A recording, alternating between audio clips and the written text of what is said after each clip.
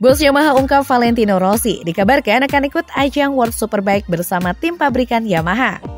Mark Marquez jajal motor tanpa winglet di sirkuit Spa. Pemandangan super unik sempat terjadi di hari terakhir tes pramusim MotoGP 2023 di sirkuit Sepang, Malaysia.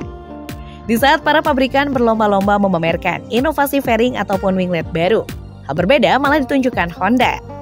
Mark Marquez sempat terpantau menunggangi RC Tuan Trivi tanpa winglet ataupun fairing.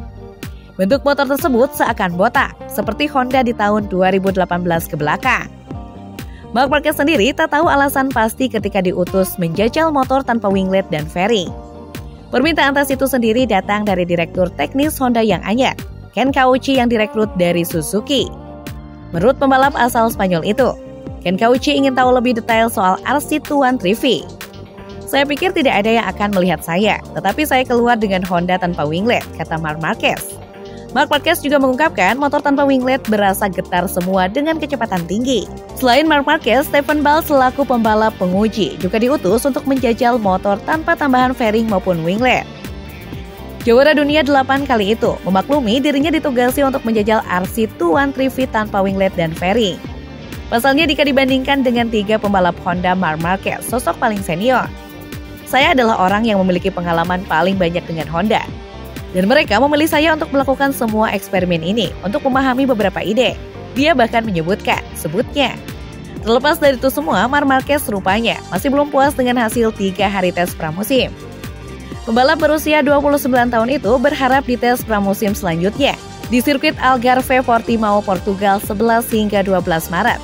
Honda bisa memberikan motor yang lebih baik Jelang WSBK Mandalika bos tim Yamaha WSBK Paul Denny menyingkap informasi soal kabar Valentino Rossi yang disebut bakal berlaga di ajang balap moto Superbike bersama tim berlambang garpu tala tersebut.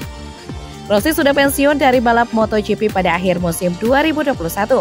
Setelah itu, pembalap asal Italia itu masih tetap aktif di lintasan balap roda 4. Belakangan sosok legenda berjuluk The Doctor itu sempat bertandang ke markas tim Yamaha WSBK di Misano sehingga memunculkan rumor anyar Rossi bakal bergabung dengan tim tersebut.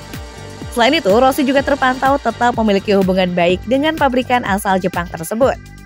Termasuk ketika bersama-sama dengan juara dunia MotoGP Pecco Bagnaia dalam sebuah kesempatan di sirkuit Portimao, Portugal. Jujur, saya tidak tahu apa saya sedang berpikir soal ide itu atau tidak. Lagi pula saya belum mendengar apa-apa tentang ini. Tetapi Rossi cukup kompetitif sampai akhir MotoGP. Kata Denning ketika ditanya soal negosiasi antara pihaknya dengan Rossi. Balapan WSBK musim ini akan dimulai pada akhir Februari di sirkuit Phillip Island, Australia.